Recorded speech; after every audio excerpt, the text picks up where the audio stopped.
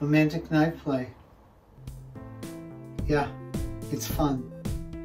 But safety first. One more order of business. Brockton Novellas, Episode 2. A Star is Born. Join me as the fuse is lit and it's moving quick. So we better get out of the way and watch from somewhere safe.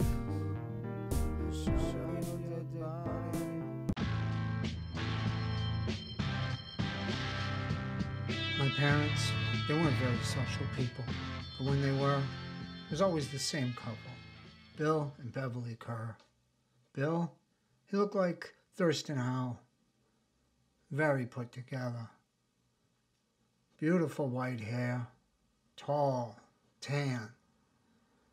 Had a mustache like Errol Flynn. Quick to wear white pants. And his wife, Beverly, they were the perfect match.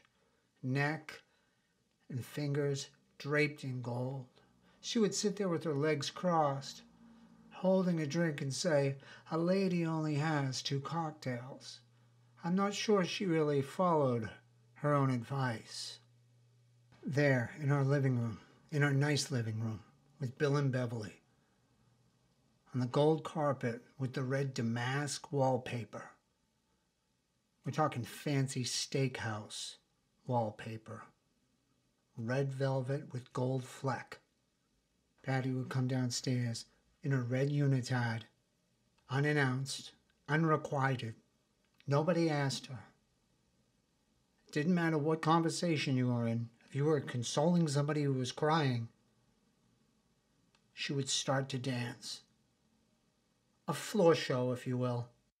The room was under attack. Attack by dance.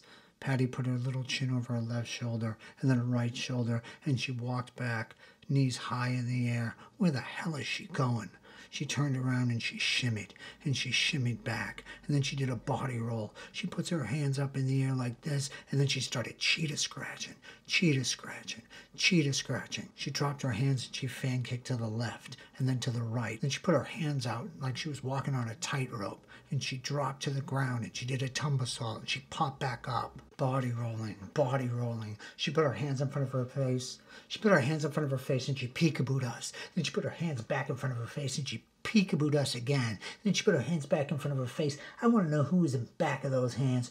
And then she peekabooed us again. Oh, it was Patty, all right. Then she walked towards us. She body rolled and she went into a bridge and then she kicked her way back up and the room froze. Mrs. Kerr almost dumped her whole white Russian all over her husband's Farah slacks, going to put it down in excitement to give a round of applause to Patty. Bill Kerr asked my father if it was okay if he used the phone. If he used the phone to make a long distance call. This was the 80s. This was the day of the long distance call. Bill was dialing a number off a business card into the wall phone of a big Hollywood talent agent. Lucky enough, it rang. Bill told him of the magic he had found at 53 Augusta Ave. The phone fell silent for a second. And then the talent agent said, Don't let anybody move. I'll be on the next flight from LAX to Logan Airport. My sister Mosey was the Irish twin of Patty. They were nine months apart. It was around dusk when she was in the neighborhood with her new obsession, Ricky Barasano. Ricky was riding his BMX bike up and down the street, side hacking trash barrels, while Mosey watched in excitement. She jogged along, Ricky on his bike. A neighbor appeared from nowhere and began to chase them, and they ran past the Pachero's house and past the house with the guy with the big mastiff. And they ran across Augusta Ave without even looking both ways. And they hid behind a stone wall, laid the bike on the ground, hearts beating. Ricky Barasano. He was famous for taking a Binaca spray and a lighter you'd get from 7 Eleven and making the lighter flame go as high as he could. He would spray the Binaca at the lighter, causing a torch. It was said both his parents were in jail and he lived in his house alone over by the old age home and he only went to school so he could get something to eat and he could wash in the bathroom. He wore a dirty denim jacket everywhere he went, pins of satanic symbols on the front of this dirty denim jacket. Call back then a headbanger or a wastoid. At some point, he'd probably either go to jail or become a biker, or as my dad liked to call him, bikey. Mr. Kirk came back from using the phone in the kitchen. Beverly and my mother were in conversation when Bill picked up his glass he had left on the coffee table and made an announcement. I have a friend coming from Hollywood, California, who is interested in Patty and her talent. Ears lit up as she ran into the room, still in her red little leotard outfit. Her big eyes lit up. It was almost too much. She was about to explode. That night, got around 10:30. We were all sitting around the TV. I looked out the big picture window, heard the door open, and Mosey came in in a dirty denim jacket on with a satanic pin on it. She smelled like fire. She had a roach clip in her hair with a feather on it that dangled by her shoulder. Mosey beelined it past my parents and ran upstairs to her and Patty's bedroom. My mother let out a sigh, like seeing somebody come back to life, like she was happy she was home. My mother seemed concerned. I heard her on the phone in her bedroom talking to Father O'Connor over at the St. Patrick's Church. You know, Mosey was keeping these late hours, the dirty denim jacket. Something was going on. She had to be possessed.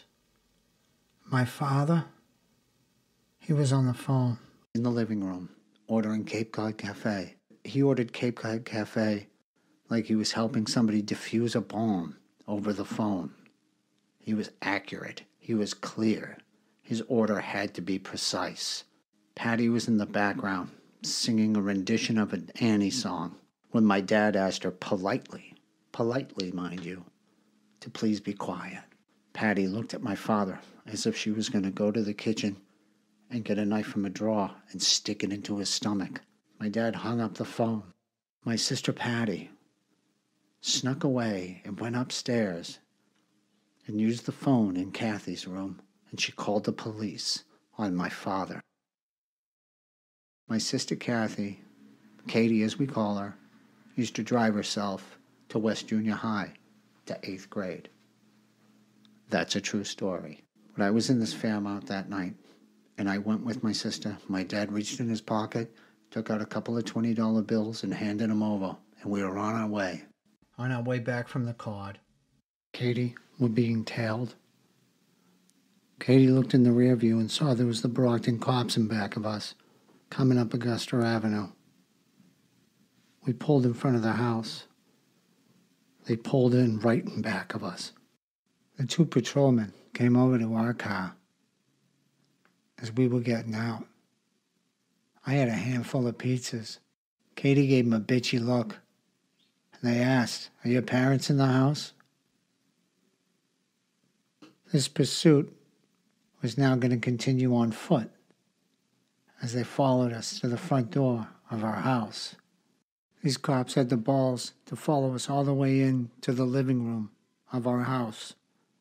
My mother was in the kitchen. She turned around and she said, I didn't know we were having guests. The one patrolman said, We got a domestic disturbance call from this address. Is your husband around? My father was in the bathroom, in Jackie's bathroom, having a quick urination at the time when he came out to be as surprised as well. The police officer asked to speak to my mother in the sunroom. Apparently, Patty had told the cops that my father had attacked her. She didn't say how, but she said that my father attacked her. Unbeknownst to us, apparently, when a domestic abuse call is made, the cops had got to take somebody with them. It was not my father's lucky day. The patrolman asked my father to put his hands on the kitchen counter. This wasn't good. My mother heard this from the sunroom and came in, and she said, What the hell are you doing? The patrolman handcuffed my father right there in our kitchen, in front of all of us. My mother took a slice of pizza and put it to my poor father's mouth and fed him pizza while he was handcuffed. Patty stood there motionless. She looked at my father, there with the handcuffs on. and she whispered under her breath, Things are going to change. My mother sprang my dad from the cooler a couple hours later. We wanted to know who the hell called the police. Nobody knew it was Patty. Across the street from us live the Nitsons. It's come to our attention that Patty, if this if this is going to fly straight, if this is really going to work, she's going to need some management. And it's not going to be anybody that lives in the house. Nobody in our house had the organization skills or the know how to light this Roman candle and make it blow up in the air the way it needed to be. There was only one person with this organization skills Mrs. Nitson. She would take her onions and she would put them in hosiery and she would store them all year long she could organize anything. Her trash barrels were perfect. Her yard was perfect. Mrs. Nitson was perfect. We had to go knock on her screen door and see if she was available for a job that nobody else could do. Harnessing Patty's God given talent and keeping her moving in the right direction. We knocked on her door. There she was, in her house gown. She wasn't used to seeing us. At least when there wasn't snow on the ground. We'd only go by there to see if we could shovel her driveway. We told her we were here with an opportunity. It wasn't to help us, it was to help her. Not to actually help the both of us. Patty here is a rising star. And we're coming to you because she needs management. Mrs. Nitson gave us a look. It's that same look you would catch from across the street when she saw a police car in front of our house. She shook her head and she closed the screen door. But Patty was not taking no for an answer. We watched Mrs. Nitson from the sidewalk as she walked past the picture window and sat down to watch her morning programs. That's when Patty went into the Nitson's bushes and waved for me. I took my hands and I boosted her up so she could look into the picture window at Mrs. Nitson. The ship was sinking and it was sinking quick, and we were trying to bail out as much water as we could. In retrospect, I would have chosen a different song. But here it goes.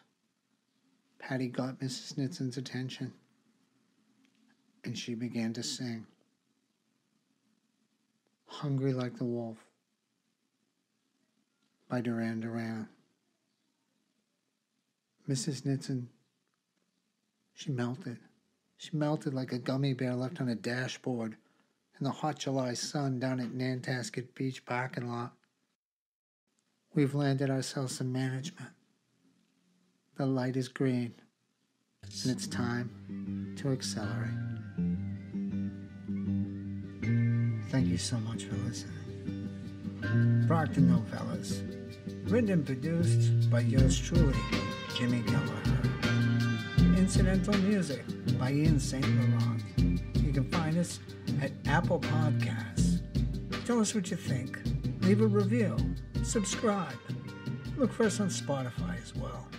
And hey, remember, it's nice to be nice.